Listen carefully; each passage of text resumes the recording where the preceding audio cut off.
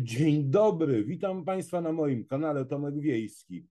E, proszę Państwa, pan Radosław Fogiel, były rzecznik Partii Prawa i Sprawiedliwości, obecnie członek Komisji e, Spraw Zagranicznych czy czegoś tam jeszcze, e, na TikToku pyta się ludzi, dlaczego nienawidzą PiS.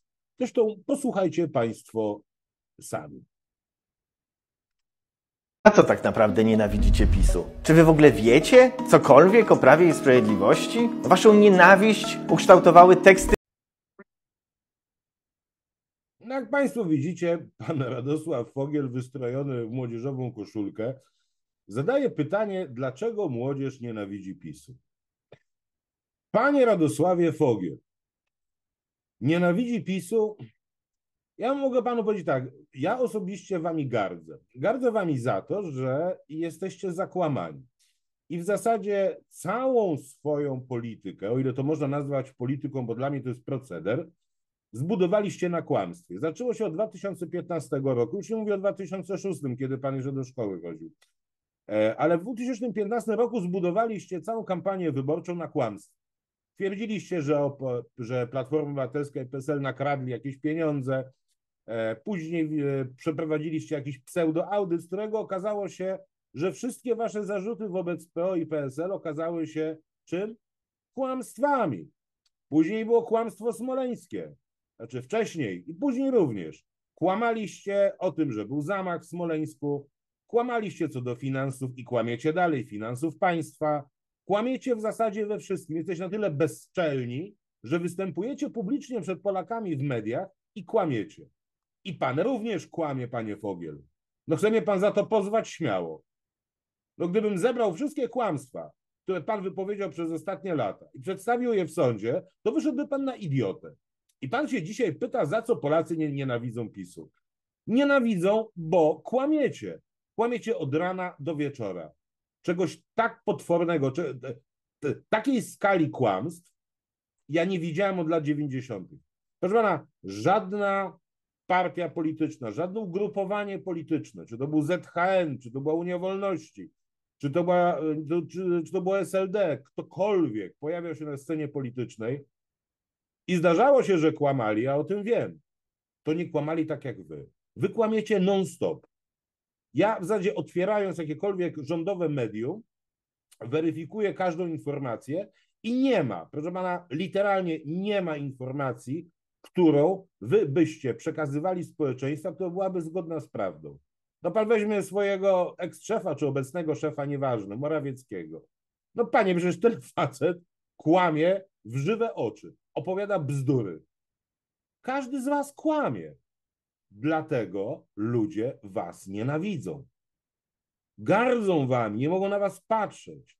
I jesienią dadzą temu e, wyraz w, tak, w wyborach, ponieważ oderwą was od władzy, od koryta. I jeszcze jedno, proszę pana, wy nie jesteście partią polityczną. Pan, partia polityczna to są ludzie, którzy mają jakiś światopogląd. E, ja szanuję czyjś światopogląd.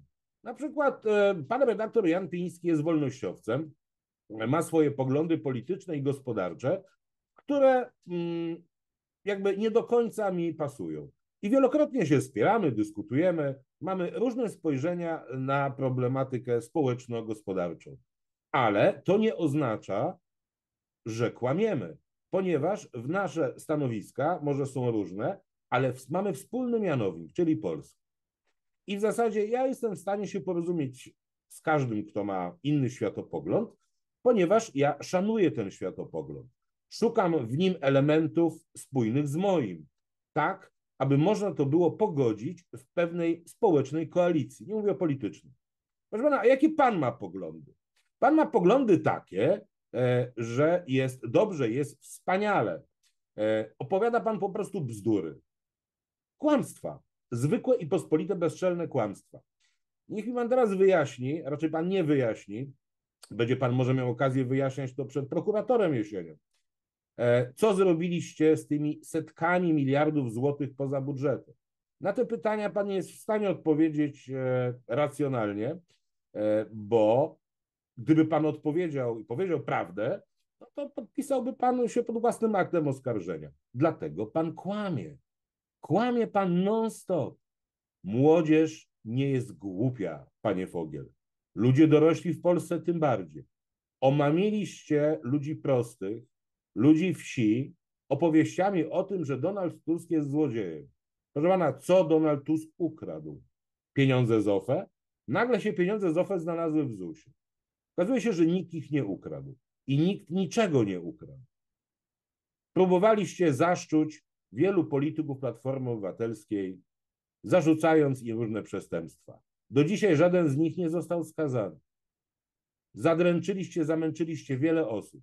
I pan bezczelnie występuje sobie na TikToku i się pyta młodych ludzi, e, dlaczego nienawidzą PiSu. Proszę pana, wy nie jesteście partią polityczną, tak jak powiedziałem. Wy nie macie światopoglądu, wy macie agendę, wedle której rżniecie to państwo na wszelkie możliwe sposoby. Okradacie je z pieniędzy, z godności, z honoru. Upodliliście miliony Polaków, którzy podczas pandemii stracili swoich bliskich. Ponad 200 tysięcy nadmiarowych zgonów. Ludzi, którzy mogli żyć, panie Fogiel. W tym moja mama, która dwa lata temu umarła.